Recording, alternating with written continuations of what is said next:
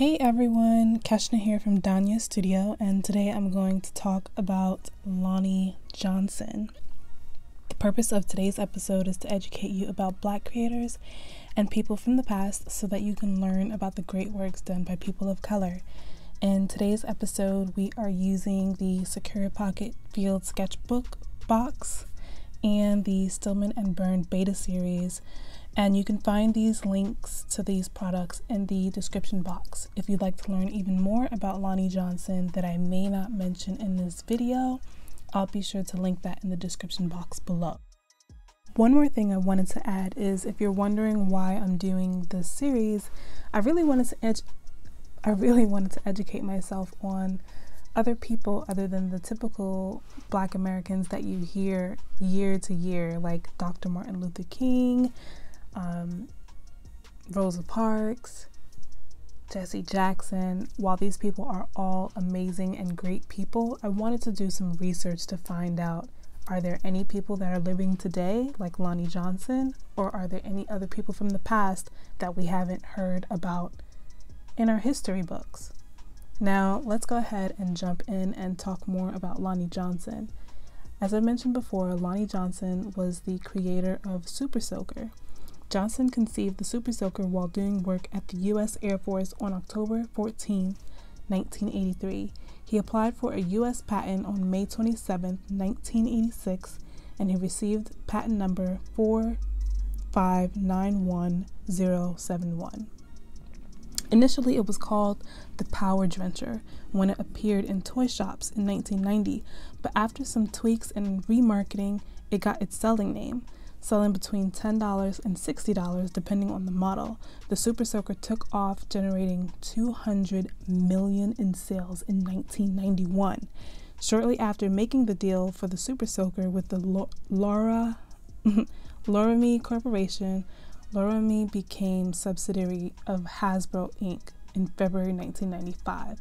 But being an inventor, Johnson came up with another idea, replacing the water in the Super Soaker with a toy Nerf projectile. In 1996, Johnson received patent US 5553598A for pneumatic launcher for a toy projectile and the like.